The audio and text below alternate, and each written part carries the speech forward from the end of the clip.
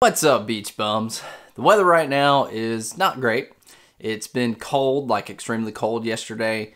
Today, the wind, I actually went to the beach today and it's not as cold. It's only like 50 something degrees, but it was blowing about 20 to 25 and then it picked up to like close to 30 by the time I walked off and said I had had enough.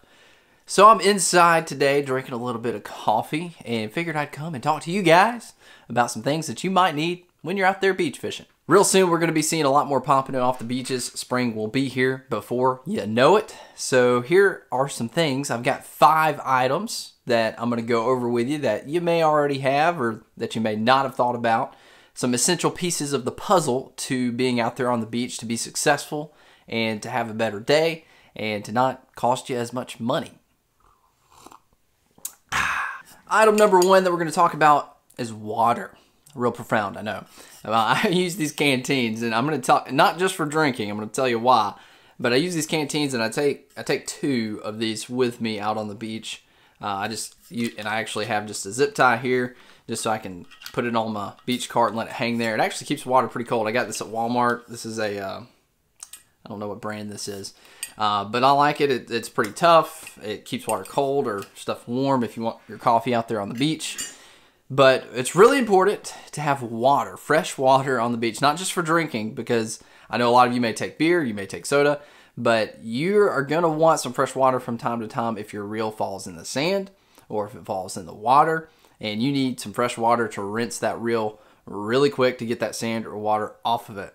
Anytime that happens, you don't want to use that reel, you don't want to crank on that reel until you get a chance to rinse it off with fresh, fresh water very important. I always have a couple of those canteens with me, one for drinking and one just for that in instance when I need it, if that reel falls in the sand or in the water, which tends to happen a lot. Number two item that I would recommend taking with you on the beach is a pair of scissors.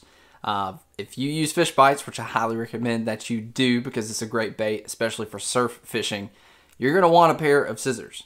Uh, that stuff is not easy to cut with a knife and it's not easy to get off of the hook. If you've ever used it, you know what I'm talking about. It's got this little mesh stuff that holds the scent on there. And when it's on a hook, it is a booger to get off. So if you have a pair of scissors, it just cuts right off real easy. Also, if you're using braided fishing line, which I, again I recommend for surf fishing, this cuts braid a lot better than you know a pair of pliers or you know whatever kind of cutter you have on your pliers or a knife this works really well to cut braid. So definitely want to take a pair of scissors with you on the beach. It will come in handy, I promise. Most of you probably already have a pair of polarized sunglasses, but I highly recommend it. It's definitely important for the beach so that you can see cuts, holes, bars, structures on those clear water days so you can see down in that water and you can see a difference in depth from all the different areas definitely got to have a good pair of pol polarized sunglasses. I use Costa. You don't have to spend that much money. Of course, there are much cheaper brands. But when I bought those, I, my thinking was if I bought an expensive pair of sunglasses, I might actually keep up with it better. And it's rang true so far. I think I bought those like three years ago, and they're still holding strong. So I haven't lost them or broken them. I try to take care of them because they're expensive. But you can get, I think, like Calcutta's. They have some polarized lenses, and those are like 20, maybe 30 bucks. Uh, anything like that. Just a good pair of polarized sunglasses that you can see the structures on the beach. Very important to have. Number four item on the list is a good de-hooker. And I like this one. I, I don't know. I don't even know what the brand is. I got it at a local bait shop here, J&M. And I like it because it's it's got this length to it. You know, it's not a pair of pliers where your hand's right by the fish, but for dehooking catfish, stingrays, bluefish, you know, anything that's really just got some really dangerous stuff, which a lot of the time you're dealing with that when you're saltwater fishing. All these things have teeth or spines or something that'll hurt you badly. So this comes in handy. And with catfish, I can dehook it and then I, I just grab the like top dorsal fin with this and then just toss it back in the water. So I don't I don't even ever have to touch it or even really get my hand close to it. So definitely going to want a, a, a good de-hooker because you're going to run into some toothy, spiny, pointy, sharp things when you're out there saltwater fishing on the beach, I promise. Last up and very important and uh, probably not what you're thinking you're going to use it for, but a towel.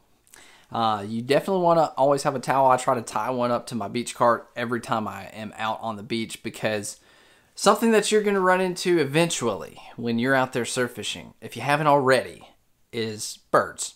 Are birds. Is birds. Are birds. You're going to run into birds. You're going to have seagulls, herons, pelicans. They're going to get tangled in your line. It just happens. I, I can't tell you how many times I've had some type of bird, mostly seagulls, but pelicans sometimes, which, man, those are a booger. Those things are fierce. And herons. And you're going to want something to cover that bird and try to get that stuff off of it because they're not going to let you get close to them until they calm down. And usually, what I do is I take a towel and I put it over their head, make sure they can't see anything. That allows me to get close to the bird, untangle it, get hooks out, get line off of it, whatever we got to do to get that bird set free. It's a lifesaver. If you don't have one, you're to end up having to take your shirt off or something like that. And, you know, you may not want to do that. Seems basic, but trust me, it's a lifesaver. Well, it's nice and cozy and warm and nice in here, and hopefully these tips helped you out. Some of these things you may already have. If not, you should run to the store and grab them before your next beach outing because I promise it'll make your life more pleasant and easier while you're out there on the beach and you won't be so stressed about messing up your reels or getting stabbed by a fish or being attacked by a bird. Good luck, guys. Hope you enjoyed the video. Hope it helps. And as always, you stay bummy. There's some stuff on the screen now that you might want to consider clicking. It's pretty entertaining stuff. I'll wait. Just one of these. Or over here. I'm not sure where. You should click.